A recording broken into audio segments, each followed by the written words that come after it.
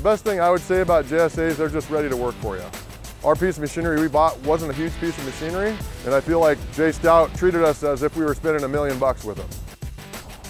What I like about the auctions is the variety of inventory that he carries. There's a fleet of uh, low mile cars, pickups, dump trucks, water trucks, all the way up to excavators and dozers.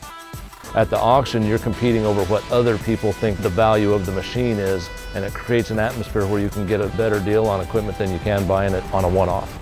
And when we're walking around with the auctioneers and they're they're bidding on a piece of equipment, I mean, the best way for me to describe it, it's like sitting on the grid getting ready for the race to start. Your heart starts kind of pounding and your piece of equipment's coming up that you're bidding on and it's kind of that adrenaline rush. Sold for 15.5. When they ask for your bidder number, you hold it up or you read it off to them and kind of like, okay, well, I've got it. Now I've got to put that piece of equipment to work and go make some money.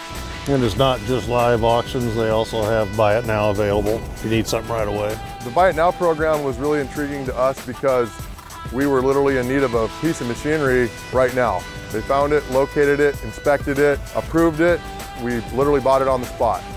I like being able to sell some of our used equipment and be more of a third party. For a company like ours where we're serviced 24-7, selling equipment's not our business. J. Stout takes care of that for us and uh, it's just easy.